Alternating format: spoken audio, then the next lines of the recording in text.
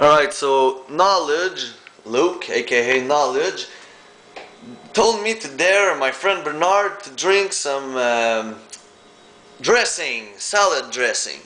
So Bern said, why not? That's what you said, huh, Bernard? I said, why not? So let's do this.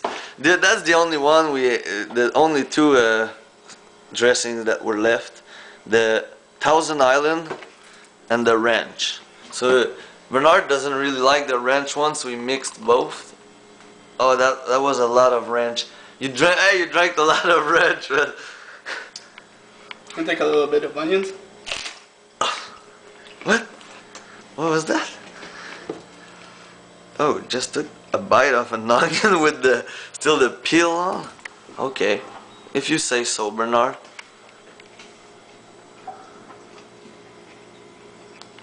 That's okay.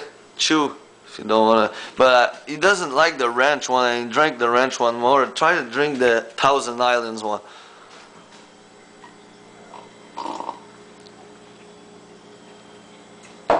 Thousand Islands. How does it taste? Another bite of another bite bite of onions. Tell Luc how stupid and easy this trick is. No. So fucking gay.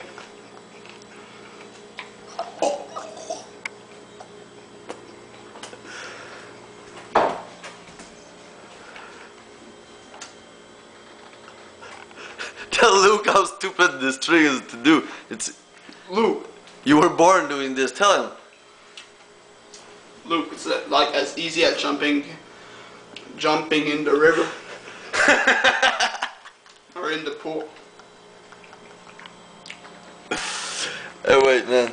I think that I think you could put a little uh, Worcestershire sauce in there. No, not in there. I'm gonna drink it pure. Oh fuck, sorry, man.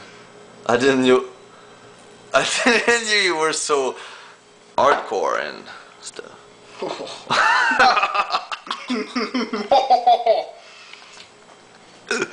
Another bite of onions.